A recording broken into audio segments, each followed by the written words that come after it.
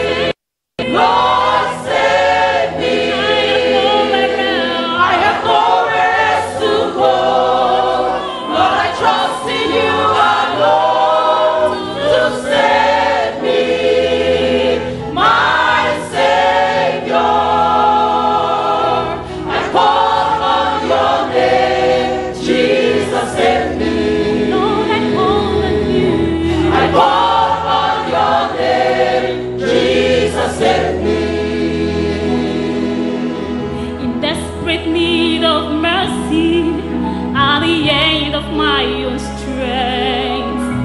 I fall upon the kindness of your